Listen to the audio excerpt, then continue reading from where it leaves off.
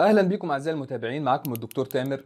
النهارده هنتكلم عن إزاي تتعامل مع العيان اللي جاي لك فيه تشنجات سواء هو جاي من بره فيه تشنجات أو كان معاك في الاستقبال لأي سبب تاني وبدأ يتشنج. تتصرف معاه إزاي؟ في البداية لازم تعرف شوية معلومات كده عن التشنجات أو ال seizures اللي هي ببساطة خلل أو إثارة غير طبيعية بتحصل في جزء من المخ أو أجزاء من المخ. وده بينتج عنها مشاكل سواء عضلية زي العضلات العيان يتشنج وعضلاته تتشنج أو مشاكل حسية العيان يحصل له مشكلة بس في العين أو في السمع أو حتى سلوكية يعني سلوك العيان نفسه يتغير. فالتشنجات أنواع كتيرة مش بس ال tonic clonic اللي انت تعرفها إن العيان يغمى عليه ويقعد يتشنج بإيديه ورجليه لا في أنواع تانية هنتكلم عنها بعد شوية. أسباب التشنجات. التشنجات مش بس صرع. مش معنى إن العيان بيتشنج يبقى عنده epilepsy أو صرع. التشنجات ليها أسباب كتيرة لازم تبقى في دماغك وتدور عليها. يعني مثلا ال fever أو ارتفاع درجة الحرارة. ممكن تعمل تشنجات خصوصا في الأطفال أو كبار السن. CNS infection يعني واحد عنده مثلا التهاب سحائي meningitis أو encephalitis أو عنده brain abscess خراج في المخ. واحد عنده ملاريا ممكن تعمل تشنجات.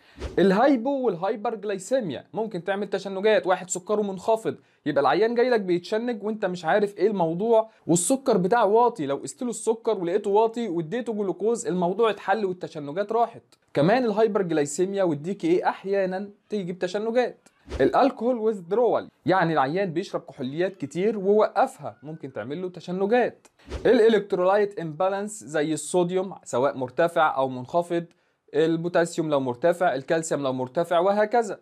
كمان ال hepatic encephalopathy ممكن تعمل تشنجات أو الغيبوبة الكبدية.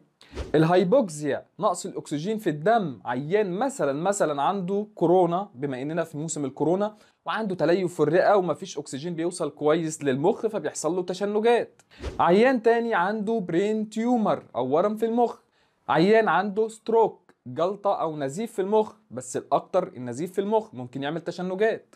بعض الأدوية الجرعات الكبيرة منها وأحيانا الجرعات العلاجية ممكن تعمل تشنجات زي مثلا ال isoniazid وزي ال theophylline ال theophylline ده موسع شعب المرضى اللي عندهم انسداد رئوي مزمن أو حساسية صدر ممكن ياخدوه.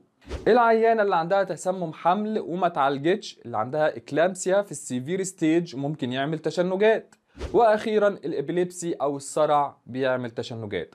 شفت الأسباب قد إيه؟ لازم دايما ما يبقاش مخك مركز على الصرع بس. العيان اللي عنده صرع أو epilepsy غالبا بيبقى عارف تشخيصه واللي حواليه عارفين تشخيصه. أما لو عيان جاي لك أول مرة يتشنج أو معاه علامات تانية تقول إن في سبب تاني غير ال epilepsy يبقى لازم تدور كويس. زي ما قلت لك إن التشنجات في منها أنواع كتير في منها generalized يعني بياخد الجسم كله وغالبا بيبقى العيان فيه غير واعي بيبقى فيه loss of consciousness أو focal يعني بياخد جزء بسيط من الجسم. ال generalized منه أنواع هو كمان الأشهر اللي الناس كلها تعرفه اللي هو tonic clonic seizures دي العيان فيها بيكون فاقد للوعي. ممكن يحصل قبلها aura ال aura دي مرحلة قبل التشنجات العيان بيحس بيها غالبا بيبقى عارفها. لو هو عنده صرع وبيتكرر مع الموضوع ده ممكن يسمع أصوات غريبة في ودنه في المرحلة دي ممكن يشوف هالات من الضوء في عينيه ممكن يحس بصداع ممكن يحس بأي أعراض تانية هو بيبقى عارفها. بتحصل في ثواني أو دقائق بسيطة قبل ال attack قبل ال seizure ما يحصل. في الغالب ال seizures دي بتستمر من دقيقة لثلاث دقائق فقط في معظم الأحوال. لو زادت عن خمس دقائق بقى اسمها status epilepticus وبتحتاج تدخل زي ما هنقول بعد شوية. أما لو أقل من خمس دقايق في الغالب ما بتحتاجش تدخل. العيان في النوع ده من ال seizures بيبدأ tonic يعني ال muscle بتاعته بيبقى فيها stiffness العيان بيبقى مخشب في أول تقريبا 30 ثانية يبقى مخشب. بعد كده يخش في مرحلة ال clonic stage اللي هي يحصل في العضلات spasm وبعدين يفك. يعني العيان ينقبض وبعدين يفك رجليه وإيديه تنقبض وجسمه ينقبض وبعدين يفك ويبدأ يتكرر الموضوع ده اللي هو ال clonic stage.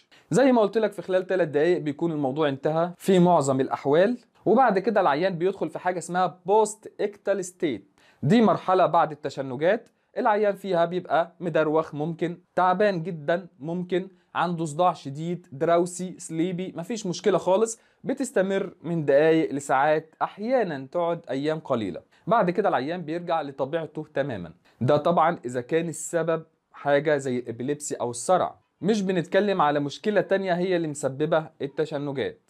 أثناء ال seizures دي ممكن العيان يتبول على نفسه أو يتبرز على نفسه ممكن يعض لسانه فيطلع شوية دم أو رغاوي من بقه فيها دم ده طبيعي إنه يحصل مع النوع ده من ال seizures كمان ممكن يحصل معاه شوية cyanosis أو العيان يزرق شوية وممكن درجة حرارته ترتفع مؤقتا بسبب الشد اللي بيحصل في عضلاته يرفع درجة الحرارة شوية. ده كان النوع الأشهر اللي الناس كلها تعرفه اللي هو ال tonic clonic seizures ده نوع من أنواع ال generalized اللي إحنا قلنا عليه. في نوع كمان اسمه absence وده بيجي أكتر في الأطفال.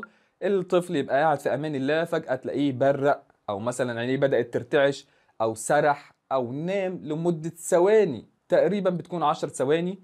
ما بيبقاش قبلها aura ما فيش بعدها postictal state يعني الطفل بس يسرح ال 10 ثواني دول أو عينيه تبرق ال 10 ثواني دول وبعد كده يرجع لطبيعته تماما.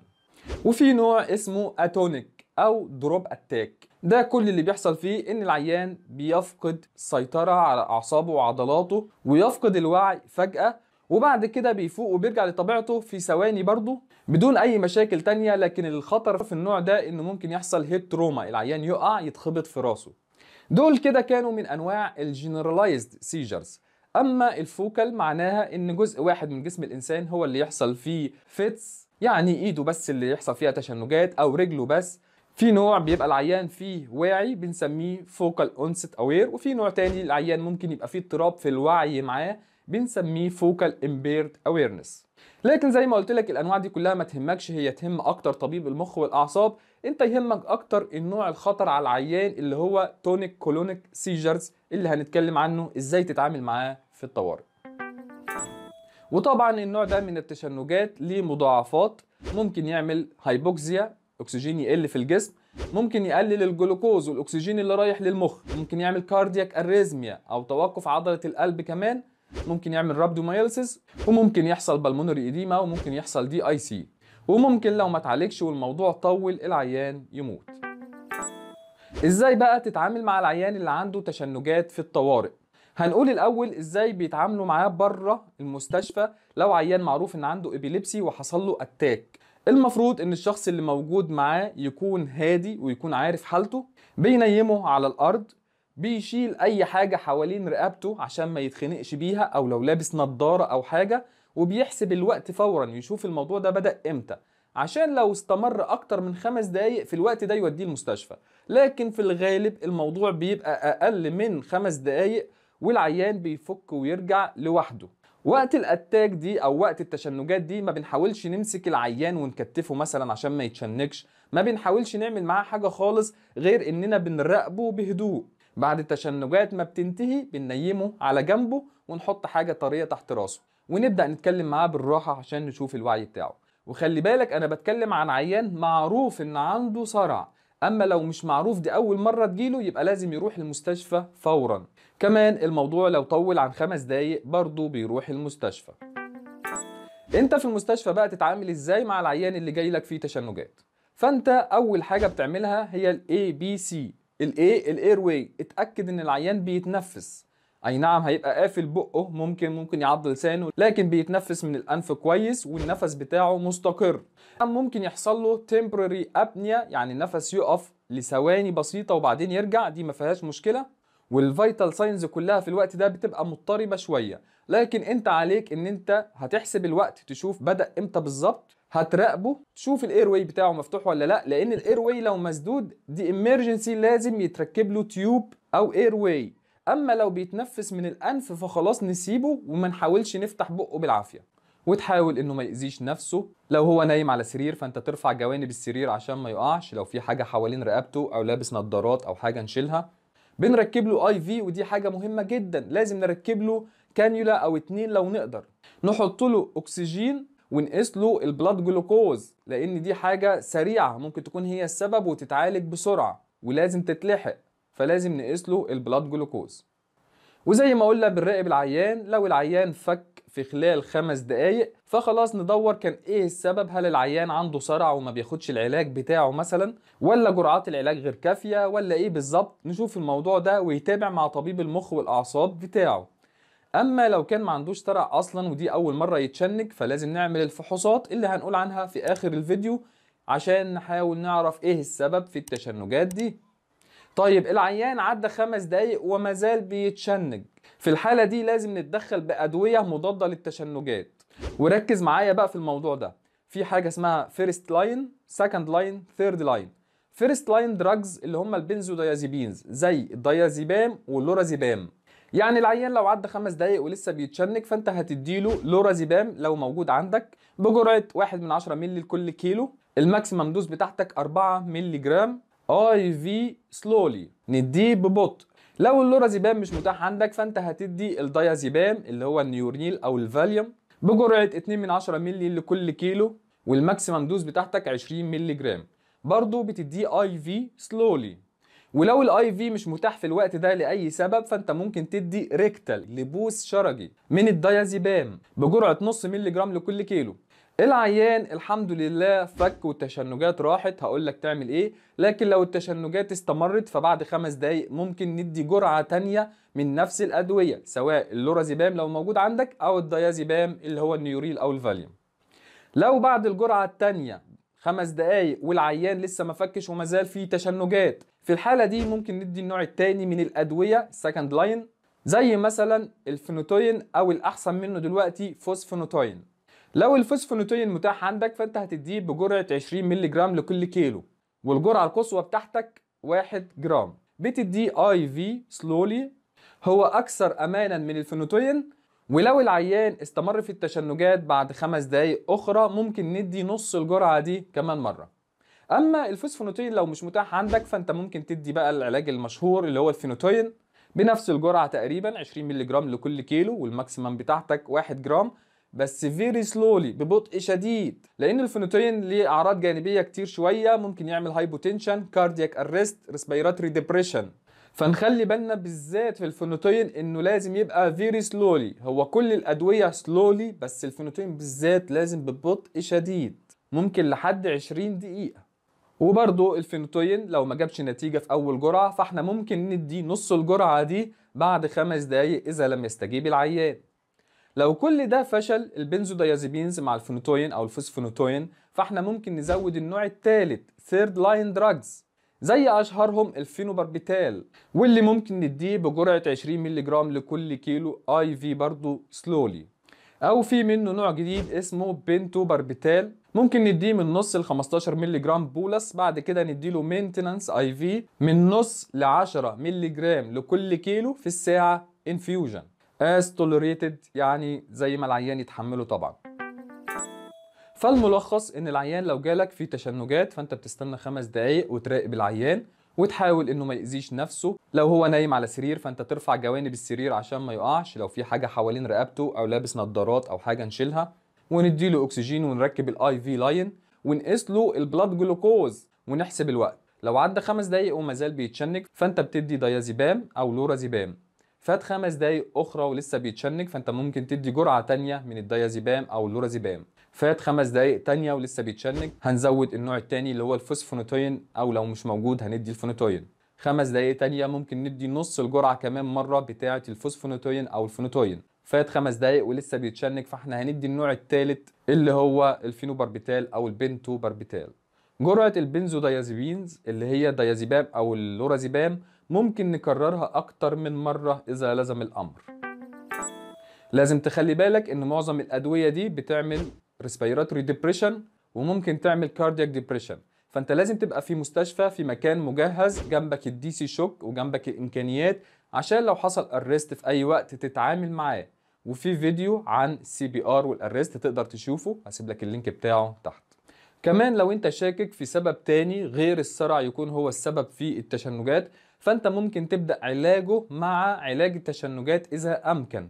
يعني العيان لو hypoglycemia علق له جلوكوز لأن ده ممكن يخفف العيان فورا. العيان لو انت شاكك إن عنده meningitis ابدأ المضادات الحيوية فورا. العيان لو عنده DKA فانت ممكن تبدأ ال fluid فورا.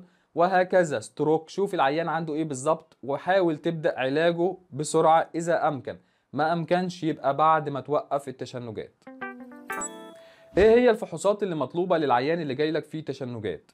إذا كان العيان عنده صرع ومعروف إن هو عنده إبيليبسي وأهله عارفين وعرفت من التاريخ المرضي بتاعه إن هو عنده إبيليبسي فغالبا العيان ده مش هيحتاج فحوصات أخرى.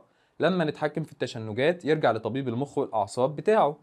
أما لو ده عيان أول مرة يتشنج فلازم نعمل له فحوصات. زي مثلا البلاد جلوكوز ده أول حاجة وفورا وأول ما يدخل الاستقبال CBC وظائف كلى يوريا وكرياتينين.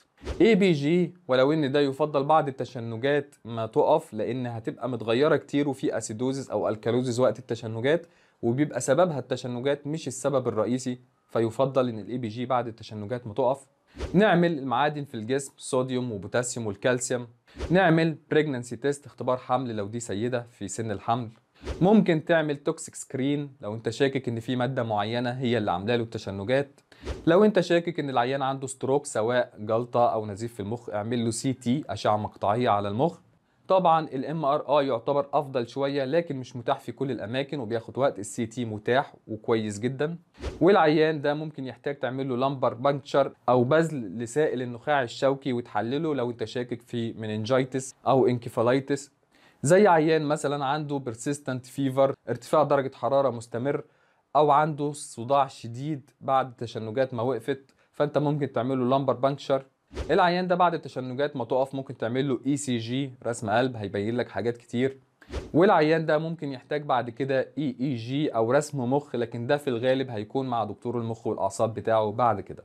كل الفحوصات اللي أنا قلتها دي عشان تحاول توصل للسبب اللي عمل التشنجات. فأنت أي سبب تشك فيه اعمل الفحوصات بتاعته. والعيان ده لو هو معروف إن عنده صرع وبياخد أدوية للصرع لكن بطلها وكان ده السبب إن يحصل له تشنجات جديدة فممكن يبدأ فورا إنه ياخد الأدوية بتاعته مرة أخرى وهو في الاستقبال عندك. وفي النهاية أحب أشكركم ما تنساش اشترك في القناة واعمل like و share وشكرا لحضراتكم.